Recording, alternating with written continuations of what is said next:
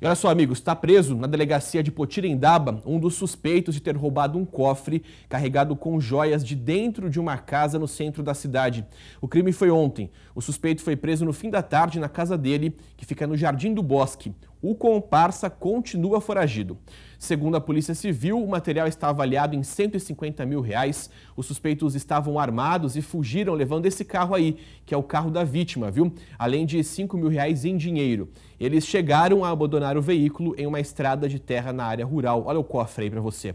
O cofre que foi levado, um cofre super pesado, e eles conseguiram fazer aí, conseguiram levar é, esse equipamento, enfim, esse objeto de segurança. Os dois já tinham roubado joias de um casal de idosos no mês passado. As investigações continuam em andamento.